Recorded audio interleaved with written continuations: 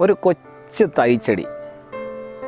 അത് ഉണങ്ങി വരണ്ട ഒരു സ്ഥലത്ത് ഞാൻ കൊണ്ട് നട്ടെന്നിരിക്കട്ടെ എന്നിട്ട് ഞാൻ അറിയാവുന്നവരെയൊക്കെ വിളിച്ച് ചോദിക്കുക ഇതിവിടെ വളരാൻ സാധ്യതയുണ്ടോ?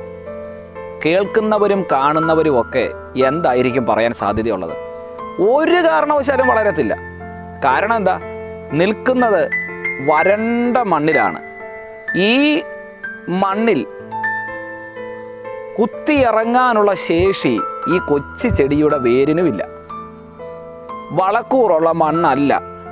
ശക്തമായ ചൂടുണ്ട്. അതുകൊണ്ട് തന്നെ ഇവിടെ ഏതൊരാളും ഒരു കൊച്ചു ചെടി കൊണ്ട് നട്ടാൽ അടുത്ത നിമിഷം അത് ഉണങ്ങിപ്പോകും. ഇത് യാഥാർത്ഥ്യമല്ലേ?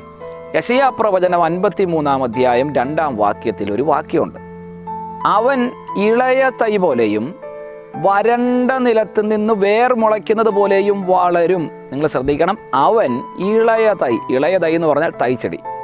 ആ തൈച്ചെടി എവിടെ നിൽക്കുന്നത്? വരണ്ട നിലത്ത്. അപ്പോൾ വരണ്ട നിലത്ത് ഇവിടെ ഒരു തൈച്ചെടി നിൽക്കുന്നു. മുമ്പേ നമ്മൾ ചോദിച്ചവരോടൊക്കെ ചോദിച്ചാൽ അവരെല്ലാം പറയും ഒരു കാരണവശാലും വളരത്തില്ല. പക്ഷേ അവിടെ എഴുതി വച്ചിരിക്കുന്നത് ഇങ്ങനെയാണ്. അവൻ ഇളയ തൈ പോലെയും വരണ്ട നിലത്ത് നിന്ന് വേർ മുളയ്ക്കുന്നത് പോലെയും അവന്റെ മുൻപാകെ വളരും.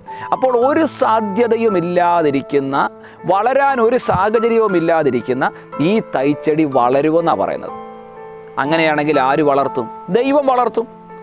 അപ്പോൾ ഒരു സാധ്യതകളും ഇല്ലാതിരിക്കുന്ന സാഹചര്യത്തിന്റെ അകത്ത് അത്ഭുതം ചെയ്യാൻ അവിടെ നിർത്തി നമ്മെ വളർത്താൻ ആർക്ക് കഴിയും? ദൈവത്തിന് കഴിയും. പിന്നെന്തിനാണ് നമ്മൾ ഭാരപ്പെടുന്നത്?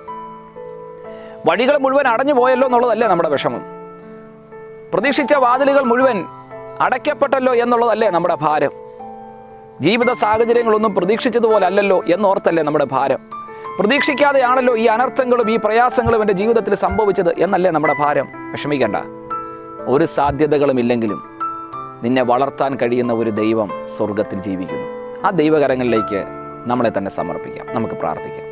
സർവശക്തനായ ദൈവമേ സ്വർഗീയ നല്ല പിതാവേ സാധ്യതകളൊന്നും ഞങ്ങളുടെ മുൻപിലില്ലെങ്കിലും ഞങ്ങളെ വളർത്താൻ കഴിയുന്ന കർത്താവിന്റെ കരങ്ങളിലേക്ക് എല്ലാ വിഷയങ്ങളും സമർപ്പിക്കുകയാണ്. യേശുവിന്റെ നാമത്തിൽ തന്നെ.